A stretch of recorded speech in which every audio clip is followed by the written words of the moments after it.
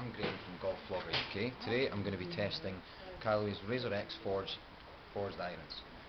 This one here is a 9 iron I'm going to be testing. It has a Callaway grip which is not too dissimilar to the Tour Velvet with a Project X 6.0 rifle shaft. As we look at the head, as you can see it's more of a traditional look incorporating mo uh, modern technology. It has a thin, thin flat head, so with the C grooves. As you can see, it's a very nice looking golf club. So what we're going to do is, we're going to take it for a test drive just now and see how it goes.